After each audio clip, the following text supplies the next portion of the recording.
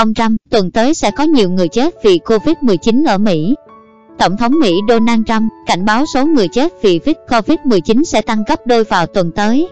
Mỹ sẽ có nhiều người chết vì Covid-19, Tổng thống Trump cảnh báo trong buổi họp báo ngày 4 tháng 4 tại Nhà Trắng. Theo Reuters, chúng ta đang tiến đến một thời điểm sẽ rất khủng khiếp. Chúng ta có lẽ chưa bao giờ thấy bất cứ điều gì giống như những con số thống kê này, có thể trong chiến tranh thế giới lần một hoặc hai, ông Trump nói. Tổng thống Trump đồng thời bác bỏ chỉ trích cho rằng chính phủ liên bang thiếu biện pháp nhằm đảm bảo đủ máy thở cho các bệnh nhân vít COVID-19 và cho rằng một số thống đốc yêu cầu nhiều máy móc hơn, họ cần trên thực tế. Trước đó, các chuyên gia y tế của Nhà Trắng dự báo khoảng 100.000 đến 240.000 người Mỹ có thể tử vong trong đại dịch vít COVID-19, ngay cả khi người dân tuân thủ lệnh giữ khoảng cách cộng đồng và ở nhà. Đến nay, Mỹ có hơn 308.000 người nhiễm virus corona chủng mới, SARS-CoV-2 gây bệnh vít COVID-19, cao nhất thế giới, và hơn 8.300 trường hợp tử vong, theo số liệu của Đại học Johns Hopkins.